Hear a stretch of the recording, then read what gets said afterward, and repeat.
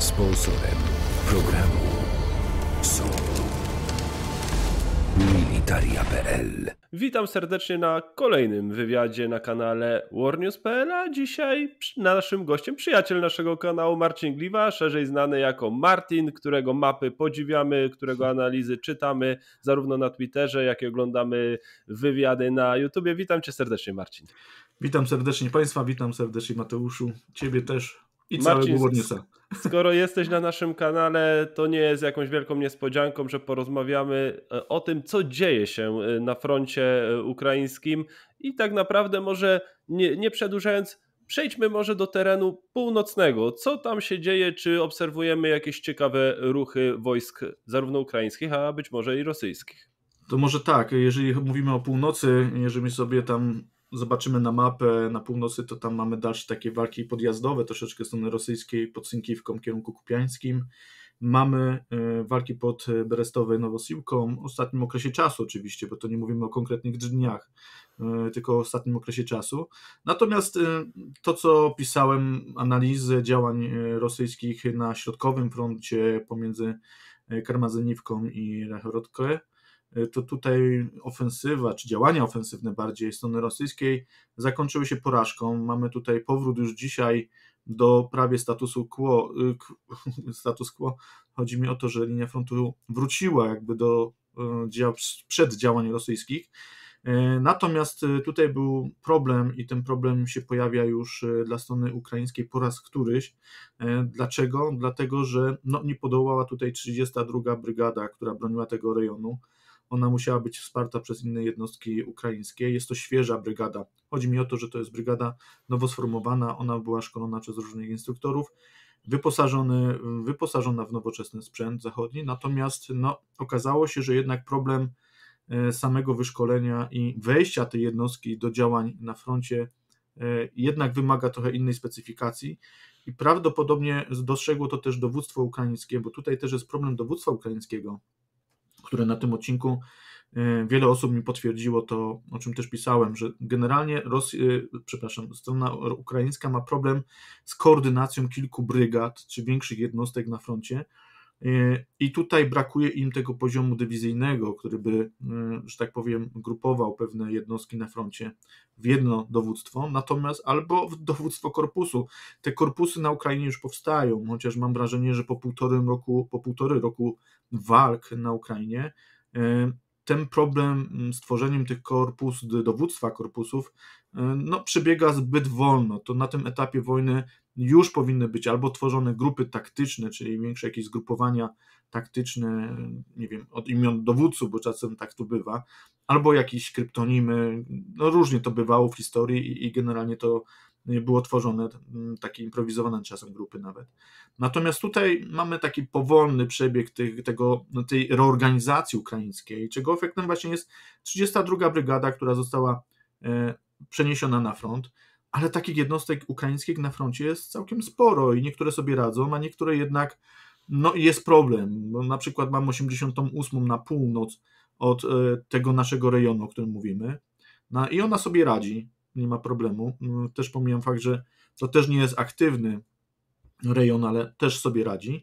Natomiast na południu ukraińskie dowództwo też wprowadziło kilka nowych jednostek, jak, jak 42, 44 Brygada Zmechanizowana i tutaj one działają w grupach batalionowych ze wsparciem artylerii oraz rozpoznania i w, działają w strukturach innych jednostek bardziej doświadczonych. I prawdopodobnie ukraińskie dowództwo postanowiło, że nim jednostka trafi na front w całości, to część, y, poszczególne elementy tej brygad będą mm, po prostu wchodziły w skład, czy będą podporządkowywane czasowo do skład innych brygad, innych dowództw, albo po prostu będą działały w ramach większych y, zgrupowań, aby się oswoiły, bo nic nie zastąpi poligonu, tak jak linia frontu. I, I, to trzeba mieć świadomość, że to nie jest wina może stricte e, dowódz żołnierzy ukraińskich, tylko chodzi o to ich ostrzelanie, o to wykorzystanie w praktyce pewnych elementów, które oni się uczyli.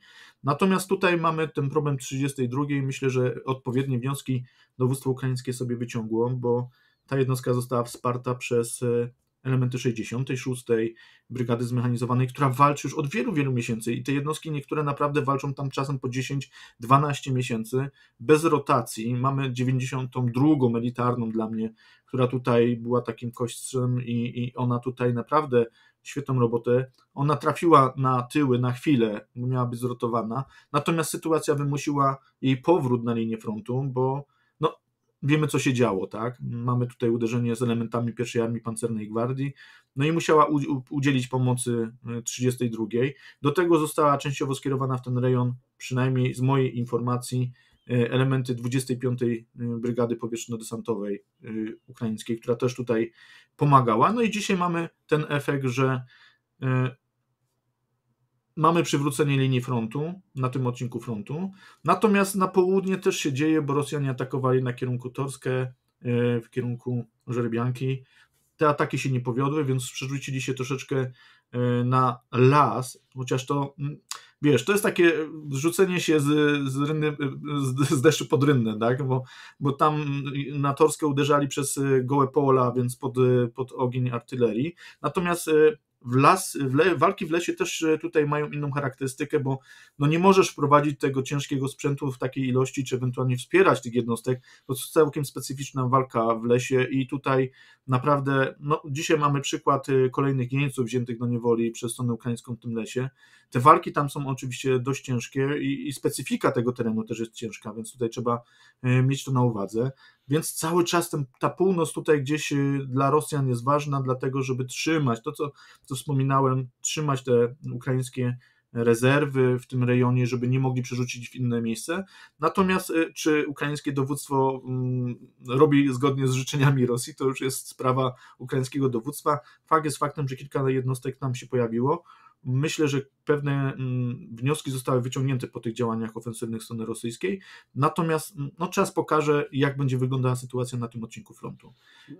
Marcin, ale ja muszę zapytać, bo ty siedzisz znacznie głębiej w tych analizach. Ja je zawsze sobie rano czytam, e, analizuję, ale jako obserwator takich powiedzmy komunikatów także medialnych, ja coraz częściej czytam w zagranicznej prasie, że ten potencjał, że te plany Ukraińców, które przy wsparciu Zachodu miały być powiedzmy zrealizowane, one w dużej mierze nie są realizowane. Jak to właśnie wygląda? Bo z jednej strony kilka dni czy kilkanaście dni temu y, dyskutowaliśmy nawet, nawet prywatnie w naszej przecież grupie o tym, że mhm. Ukraińcy powoli zyskują przewagę artyleryjską i pewne elementy chociażby y, ochrony czy namierzania tej, tej radiolokacyjnej rosyjskiej mhm. zostają niszczone. Jak to y, obecnie wygląda? Czy rzeczywiście Ukraińcy mają na pewnych etapach przewagę, czy jednak może obserwujemy jednak jakąś wojnę pozycyjną, jest sierpień i zaraz będziemy wrzesień, październik znowu dyskutować o ewentualnie jakiejś drugiej kontrofensywie.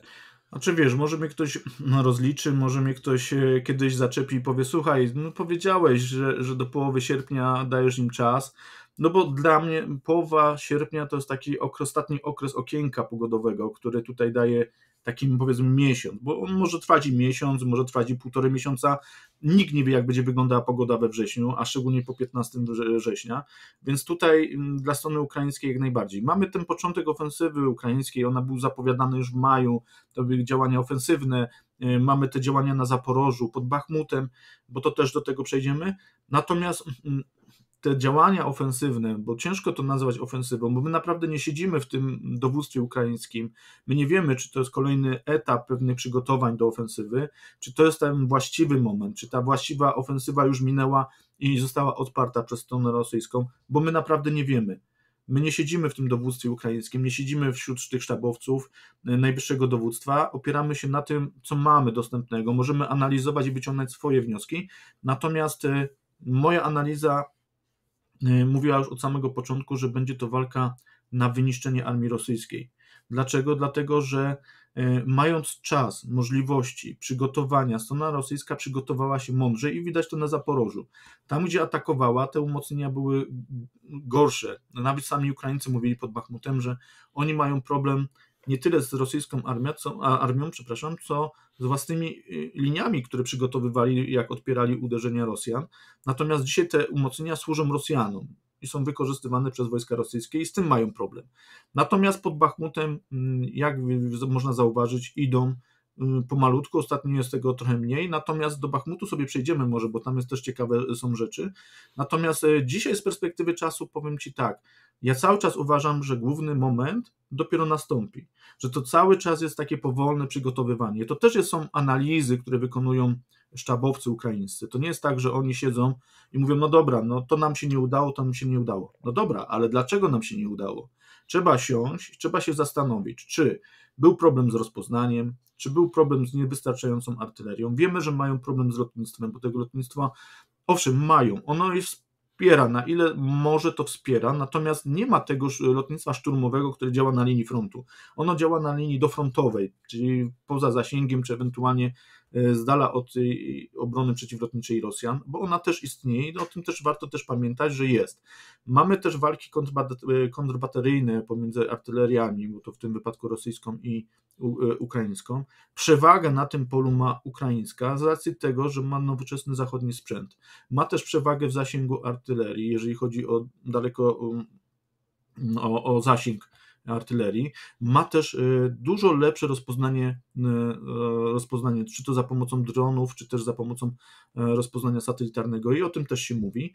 Natomiast, no, słuchaj, pewnych rzeczy nie przeskoczymy. Jeżeli mamy 40 armat, na danym odcinku, a przeciwnik ma 120, to i tak ma przewagę 3 do 1. Tak? Możemy ją niwelować poprzez celność, możemy ją niwelować poprzez nasze rozpoznanie i niszczyć ją, bo to jest główny cel ukraińskiej artylerii, E, ta walka kontrbateryjna, gdzie uzyskuje przewagę i o tym e, też mówią w sumie nawet różne źródła i, i też statystyki, które potwierdzają większą ilość zniszczonej artylerii i ta zwiększona ilość artylerii, jeżeli popatrzymy, to ona od maja wzrasta coraz bardziej do góry, tak? Jest tego coraz bardziej, e, jest bardziej widoczna ten, ten, ten eliminacja tego środka. Dlaczego?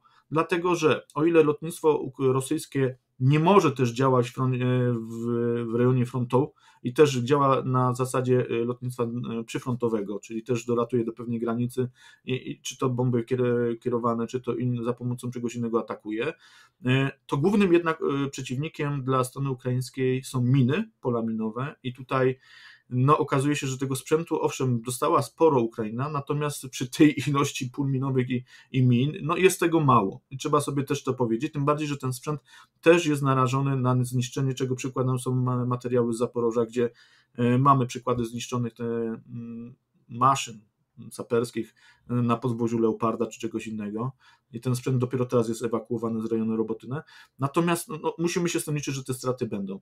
Mamy drugi problem rosyjskim, którym jest artyleria, która tutaj no, przy swojej ilości może może nie tyle strzelać celnie, co może pokrywać dany obszar, e, powodując straty, i te straty też są widoczne, i z tym Ukraińcy walczą, czy strona ukraińska walczy, ale na to wszystko potrzeba czasu. To też e, oni może założyli pewne rzeczy, że będzie to przebiegało w taki sposób, natomiast y, pierwsze natarcia z czerwca pokazały, że jednak trzeba zmienić troszeczkę tą koncepcję wojny.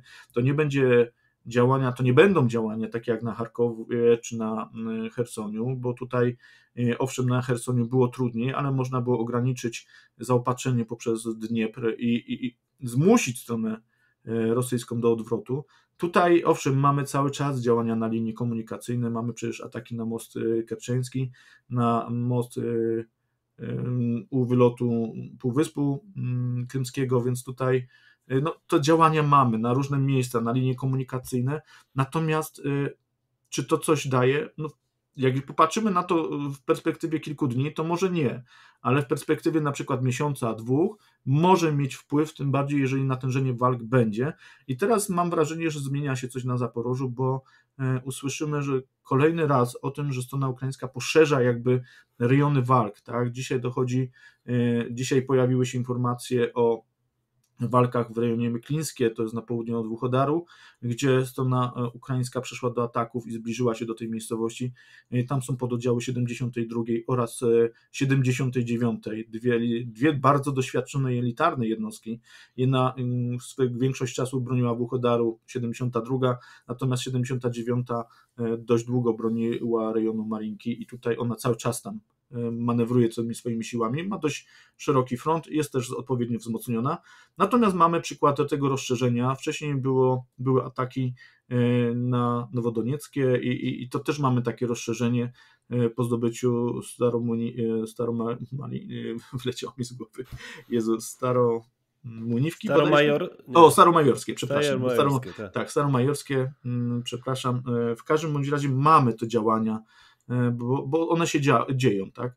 Natomiast e, ja cały czas uważam, że to jednak będzie, jesteśmy jeszcze przed, jesteśmy jeszcze przed, mają Ukraińcy sporo sił, mają wszystkie brygady, które tutaj mogą być użyte, są dalej w, z możliwością ich użycia, natomiast kiedy to nastąpi, no myślę, że wiedzą to sami dowódcy i to najwyżsi dowódcy, e, nawet tego szczebla średniego, czy zgrupowań, czy korpusów, e, pewne elementy mogą wiedzieć, natomiast jeszcze to nie jest ten może czas.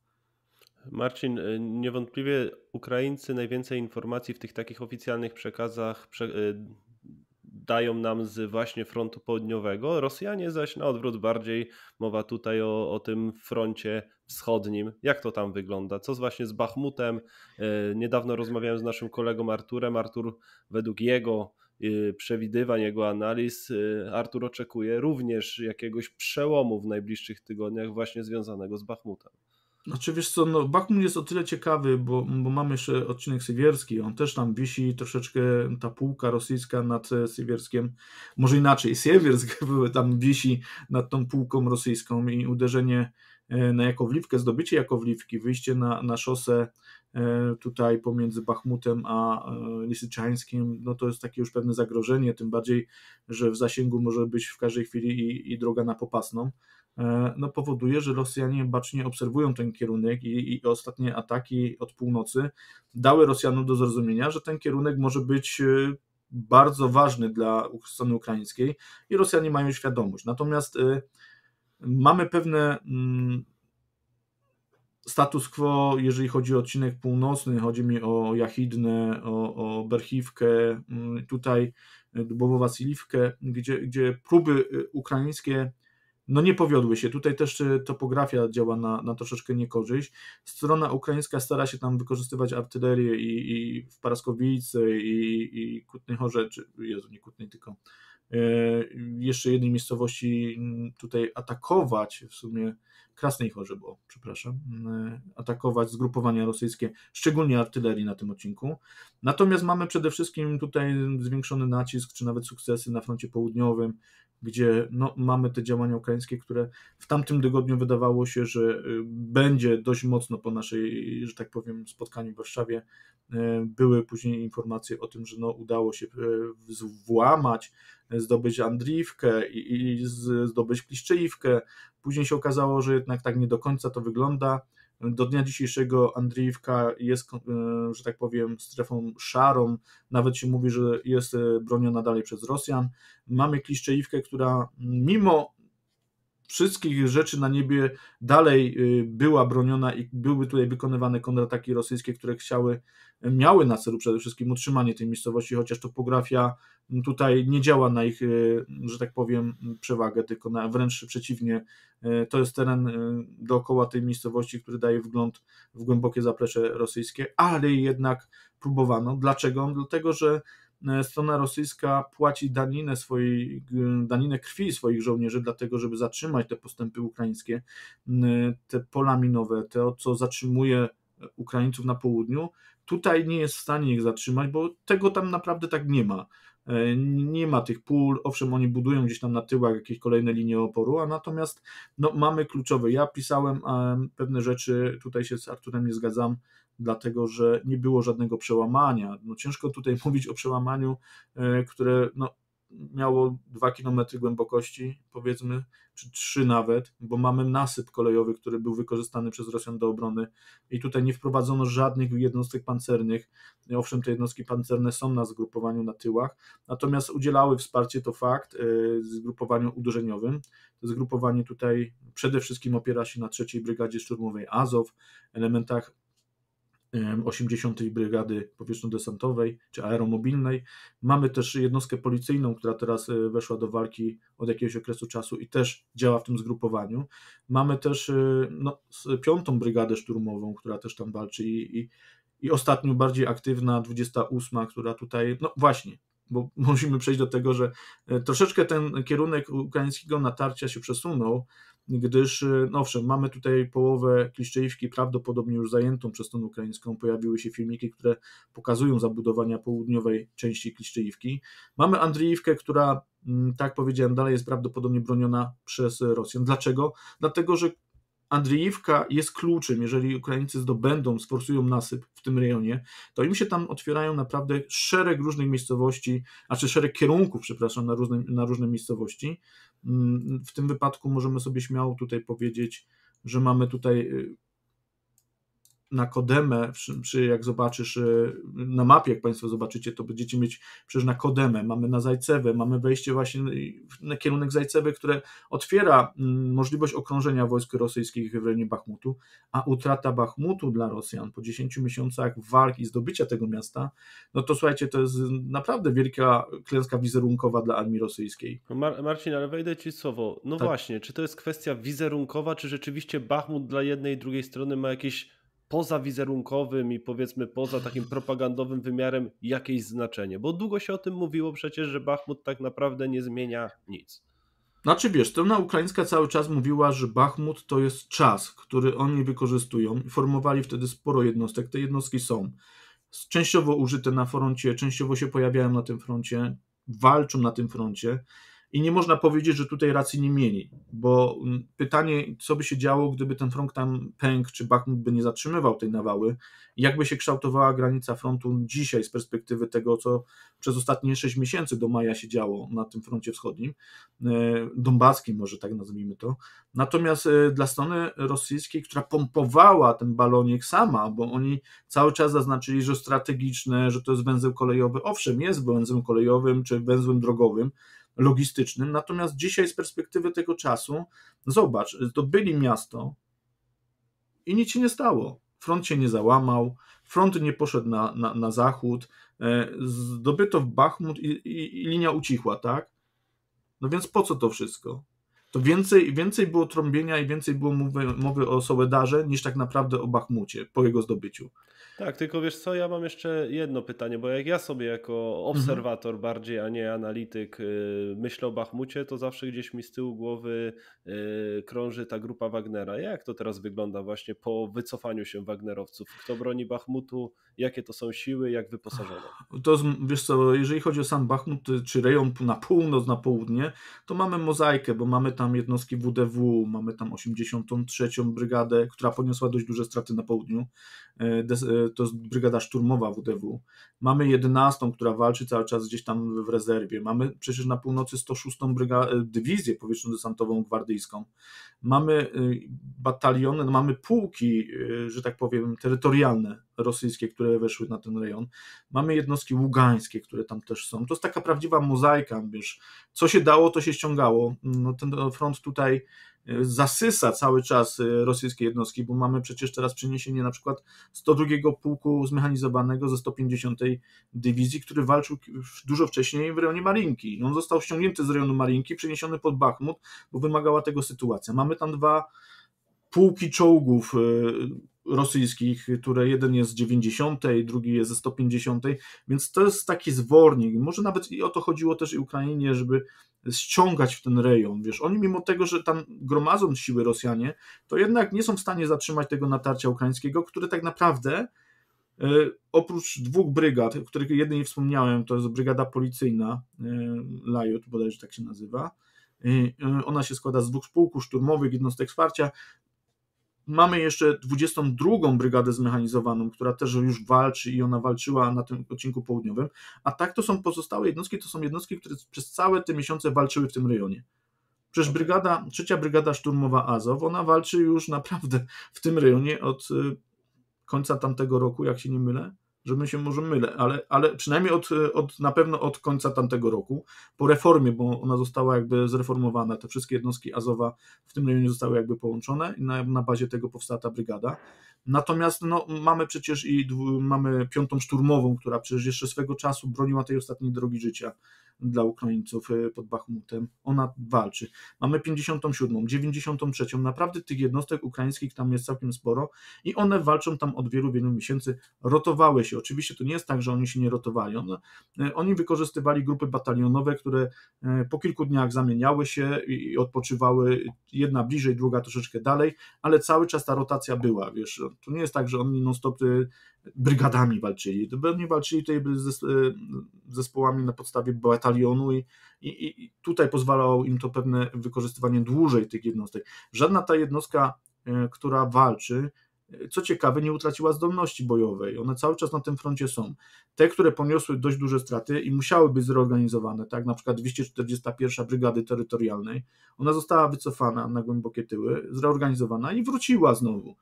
Mamy też e, naprawdę szereg różnych pojedynczych batalionów, które były oddelegowane przecież w czasie tych walk, ale to wszystko nie zmienia, e, znaczy inaczej, może powiem Ci tak, e, to zużycie, nawet jeżeli było po stronie ukraińskiej, nie spowodowało, że tutaj ten front zamarł.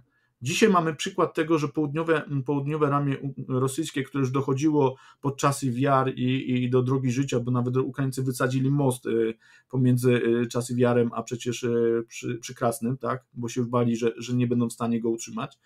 Okazało się, że no, dzisiaj nawet ten, do tego mostu nie doszły, nie doszły wojska rosyjskie, natomiast dzisiaj strona ukraińska jest pod Kliszczejówką, mamy pod Andrzejówką i walczą teraz o Kurdimówkę. Dlaczego? Bo Kurdimówka z Andrzejówką Andriiwką jest kluczowa dla tego odcinka. Jeżeli padnie Kurdimówka i Andriiwka, to Rosjanom może, może tutaj się posypać, oni będą musieli się wtedy cofnąć dużo, dużo głębiej, a pamiętajmy, że e, tym razem to oni będą mieć rozciągany front, tak? To półkole będzie ich bardziej rozciągało, Natomiast e, to też nie jest tak, że strona ukraińska za wszelką cenę chce tutaj zrobić wyłom i, i zdobyć. Oni wcale nie muszą zdobywać Bachmutu, wystarczy go okrążyć czy zmusić Rosjan do odwrotu poprzez ataki na linie logistyczne. Także tutaj mamy ten przykład Bachmutu, mamy przecież rejon Abdiwki, który od bardzo dawna jest atakowany i tutaj każde powiedzmy niewielkie sukcesy rosyjskie spotykają się z kontratakami ukraińskimi, które że tak powiem, odrzucają na pozycje wyjściowe. Jeżeli nie tego samego dnia, to po kilku dniach mamy informację, że strona rosyjska została zmuszona do wycofania się ze zdobytych pozycji, ale oni nie są w stanie iść dalej naprzód. Marinka, Morze Ruin, to samo. Mamy informację o jakimś tam minimalnym sukcesie, po czym pojawia się informacja o kontrataku. Krasnochorivka, przecież cały czas gdzieś tam ta strona, i to jest pas przysłaniania, to nie jest główna linia oporu ukraińskiego, ta linia oporu znajduje się troszeczkę na tyłach, natomiast oni działają w pasie przysłaniania. I, i naprawdę radzą sobie tutaj wyśmienicie, nie są w stanie Rosjanie odrzucić ich od Doniecka, a tym bardziej od tej strategicznej nitki kolejowej, y, co idzie niedaleko Sołotkie. I, i, co dla Rosjan samych byłoby kluczem, żeby odrzucić ich, bo mogliby wtedy mm, remontować czy ewentualnie uruchomić linię kolejową, która jest dla nich no, nadrzędną sprawą logistyczną, tak? No i mamy Zaporoże, tak? Mamy cały czas informacje o walkach w rejonie staromajorskiej, które zostały zdobyte, tak jak powiedziałem, nowodonieckie, które tutaj mamy. Rozszerzenie transwalk na bardziej wschód, maklińskie, miklińskie, czy jak to ładniej mówiąc, e, gdzie dzisiaj się pojawiają informacje o ukraińskich atakach, o zyskach nawet terenowych na tym kierunku. No i mamy Oczywiście odcinek zachodni, mamy tutaj walki na kierunku roboty werbowe. E, pojawiły się dzisiaj informacje nowe na temat tego, że 15 Brygada mm, Szturmowa Gwardii Narodowej e, uzyskała dalsze postępy w terenie, więc tutaj e, no, mamy cały czas ruch minimalny, ale jest. To, to, słuchaj, to nie jest tak, że szturmujemy za wszelką cenę, bo Rosjanie mówią, że no, Ukraińcy są głupi i tak. No dobra, no jeżeli są głupi, to dlaczego te brygady cały czas walczą? Tam nie ma rotacji. Tam mamy 65, mamy 47 z 78 pułkiem szturmowym, mamy 15 brygadę, mamy przecież y, ostatnio wprowadzoną brygadę y, Azowa, 12, y, bo otrzymała numer brygady, która została wyniszczona w Mariupolu i ten numer 12 został, bo widzisz, tutaj też mamy tych jednostek Azowa jest całkiem sporo, tak? Mamy trzecią brygadę szturmową Azow, mamy teraz 12 brygadę Gwardii Narodowej Azow, która tutaj no tak naprawdę jest spadkobierczynią pewnych e, tradycji tego głównego Azowa, chociaż nie można powiedzieć, że tamten trzecia brygada szturmowa to też nie jest Azow. To też jest Azow, tylko oni się na tyle rozrośli i mieli tyle jednostek, że te jednostki zostały scalone jakby w dwóch brygadach. Jedna walczy na odcinku Bach e, Bachmutu, jest główną siłą napędową i mamy drugą, która też jest na odcinku zaporowskim i myślę, że o niej też będziemy słyszeć E, całkiem sporo, bo ich motywować do walki nie trzeba, oni mają swoją motywację do walki z Rosjanami. No i mamy też naprawdę szereg jednostek, które cały czas gdzieś tam na tyłach tego Zaporoża są. I dzisiaj mamy informację, że przecież już kilka dni temu była informacja o tym, że udało się e, w stronie ukraińskiej dojść do pierwszej linii głównego, do pierwszej głównej linii oporu e, rosyjskiej, przez, przebili się przez pas przesłaniania, więc tutaj cały czas mamy. Mamy jeszcze odcinek w rejonie Łopkowe, e, gdzie strona ukraińska atakuje na Łychowę bodajże, jak się nie mylę, taka miejscowość. No i cały czas gdzieś ten nacisk jest, tylko e, czy to są działania, które my byśmy chcieli upatrywać, bo my cały czas mam wrażenie, że pamiętamy to, co się wydawało, wydarzyło na, na Hersoniu, gdzie. No jest gdzie taka bańka, były. jest bańka y, napompowana tej ofensywy i oczekujemy tak naprawdę wielkich y, ruchów i odbicia terenu ta, przynajmniej tak, ta, tylko, tak laicy do tego podchodzą. Wiem, znaczy wiesz co, każdy z nas chciałby, żeby ta wojna się pewnie skończyła jak najszybciej, żeby strona ukraińska odbiła, czy wyzwoliła nawet swoje terytorium. Natomiast e, nie wolno też lekceważyć Rosjan, bo Rosjanie też się uczą. E, Rosjanie e, od samego początku wojny, jak dobrze pamiętam, utworzyli 200 chyba 80 nowych formacji to jest 280 nowych formacji. E, w czasie wojny afgańskiej stworzyli 100 nowych formacji. E, w czasie e, gdzieś tam w okresie Czarnobylu, gdzie był ten kryzys z elektrownią atomową, powołano pod broń i stworzono 88 jednostek, więc tutaj to widać, jak bardzo angażuje się Rosja, jak, jak potrzeba jest Rosji. Rosja dzisiaj boryka się z siłą życiową, z żołnierzami piechoty przede wszystkim. To też nie jest tak, że macie, y, wiesz Mateusz, to jest linia frontu dość długa. To nie jest tak jak w okresie II wojny światowej, że mieliśmy zagęszczenie iluś tam środków bojowych na kilometr, mieliśmy tabun żołnierzy, silne odwody. Dzisiaj te odwody manewrujemy, tak? Dzisiaj mamy punkty oporu, i tak to mniej więcej wygląda, jak zobaczysz sobie na filmie, jak oni szturmują te zagajniczki takie malutkie, czy tam powiedzmy pasieki, no to to wygląda właśnie na takie rubieże, wiesz, punkty oporu składające się z plutonu, czy ewentualnie kompanii, Y, no, mniej więcej tak to wygląda. No, dzisiaj, dzisiaj to nie jest ciągła linia frontu, natomiast panują w powietrzu drony, które obserwują, mamy drony, które nadzorują dane obszary, mamy walkę, tak jak powiedziałeś w tym momencie, w RE, która tutaj po jednej i po drugiej stronie jest bardzo mocna, chociaż w ostatnim okresie czasu Ukraina dostała nowoczesną broń, już w końcu nowoczesną, która równoważy to, tą rosyjską i, i, pozwala troszeczkę więcej tutaj w stronie ukraińskiej. Natomiast to cały czas jest wyścig, wyścig technologiczny, wyścig z ilością. E, to też mam informacje w sumie tutaj e, o tym, że te drony też spadają dość często, więc Wiesz, to cały czas musi być pomoc, to cały czas musi być wsparcie. Da, daleko nie szukać, przecież sami się zaangażowaliśmy w pomoc, te drony już trafiły do chłopaków na Zaporoże i chociażby o to, co też rozmawialiśmy w Warszawie, te drony właśnie są właśnie wykorzystywane chociaż do eliminowania pól minowych, bo tak. ciekawostka, te miny się nagrzewają w gorące dni, kamera termowizyjna jak powiedzmy na kartce pokazuje, gdzie takie pole minowe się znajduje, więc y, niewątpliwie jest to istotny sprzęt, ten nasz, który kupiliśmy wspólnie z chłopakami, już trafił do chłopaków na Zaporoże i tu jeszcze raz gorąco Ci, Marcin, dziękujemy też za zaangażowanie w akcję. Cała przyjemność była po mojej stronie, że mogłem wziąć udział też i wasz, e, Waszej akcji i w sumie myślę, że taką cegiełkę od Ciebie też dorzuciłem. Oczywiście, że tak. Marcin, na koniec jeszcze, bo dużo mówimy o stronie ukraińskiej, ale gdybyś spojrzał jeszcze na swoje mapy, na swoje analizy z góry, gdzie dostrzegasz jakieś plusy sił zbrojnych w Federacji Rosyjskiej, bo w tych ich komunikatach Ministerstwa Obrony też pojawiają się punkty, o których oni mówią, że gdzieś na jakimś etapie przesuwają się także do przodu. Wiesz co, no to jest takie ciężkie pytanie, bo wiesz, Ministerstwo, Spra- Ministerstwo Obrony Rosji to jest Ministerstwo Obrony Rosji i oni zawsze mówią swoje. E, trzeba to podzielić czasem przez 4 albo przez 6, albo po prostu obserwować. Wiesz, ja jestem na etapie takim, że wertuję czasem setki różnych y, informacji, wertuję setki stron, wyszukuję. To, co rozmawiałem też z Markiem odnośnie pewnych rzeczy, bo też miałem pewne mm, rzeczy, które mi tu nie pasowały.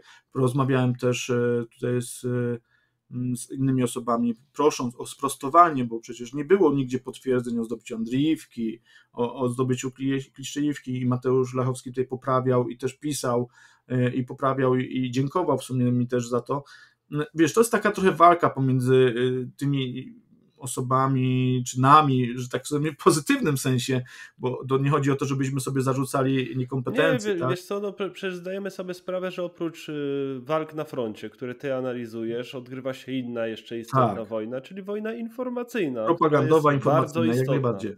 I wiesz co, czasem trzeba na to zwracać uwagę i staram się zwracać uwagę, nawet czasem przyhamowując pewne, pewnych moich kolegów, ale uważam, że tak powinniśmy to robić, dlatego że powinniśmy być rzetelni Y, patrzeć nie na sensacje, tylko na to, czy faktycznie mamy pewne rzeczy.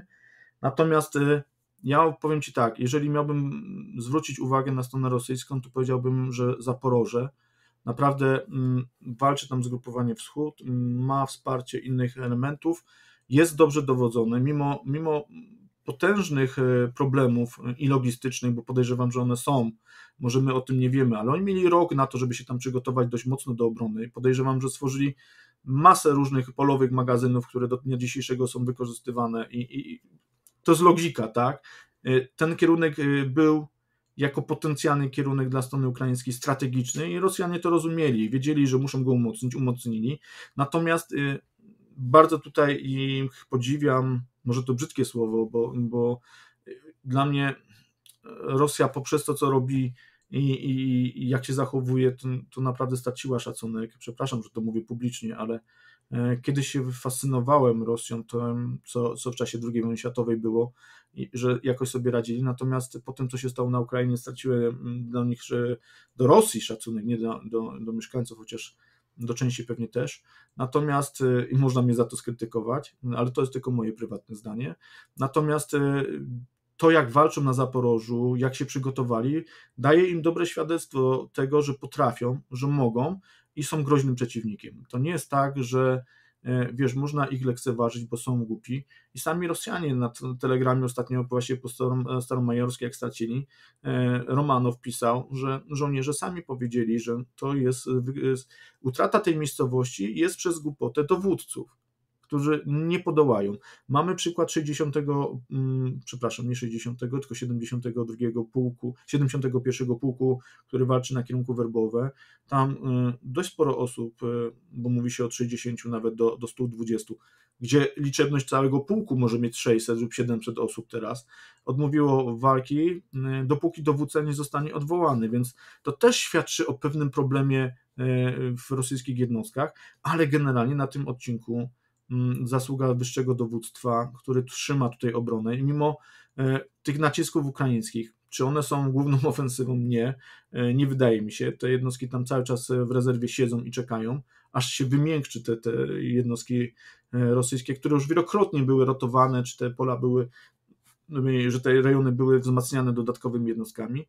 Mamy odcinek, y, drugi takim odcinkiem dla mnie, no to mamy odcinek północny. Tam oczywiście y, tą analizę, którą robiłem odnośnie uderzenia właśnie pomiędzy Karmazyniwką a Reichrodkiem, gdzie y, pierwszy odcinek przełamania wedle rosyjskiego dowództwa miał w granicach 4 do 6 kilometrów i udało się osiągnąć pewne sukcesy, nie zostały wykorzystane no, po prostu on był za mały, do tego teren ciężki, więc rozszerzyli o kolejne 6 km i też uzyskali powodzenie, jednak zabrakło dalszych sił, żeby wprowadzić, a było tam dość ciepło, więc to też pokazuje, że oni też potrafią e, w jeden dzień zrobić 3 km czy 4 i to też świadczy o tym, że mimo wszystko gdzieś tam te błędy są po jednej i po drugiej stronie, natomiast E, to świadczy, że ten przeciwnik jest e, gotowy do walki, ten przeciwnik nie złożył broni i trzeba go traktować z pewnym szacunkiem. Nie da się lekceważyć przeciwnika, tym bardziej jeżeli ten przeciwnik jest na kolanach, bo z tych kolan może wstać, ewentualnie wykonać taki ruch, że to nas powali, tak?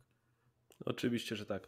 Marcin, bardzo Ci serdecznie dziękuję za poświęcony czas. Państwa oczywiście gorąco odsyłam na media społecznościowe, na Twittera Marcina i oczywiście na jego kanał na YouTube, do których link znajdziecie w opisie tego filmu. Zachęcamy również do zasubskrybowania naszego kanału warnews.pl na YouTubie. Marcin, bardzo Ci serdecznie dziękuję za poświęcony czas i mam nadzieję, że jeszcze sobie po Twoim urlopie porozmawiamy i wszyscy chyba sobie tego życzymy, że będziemy komentować większe sukcesy Sił Zbrojnych Ukrainy.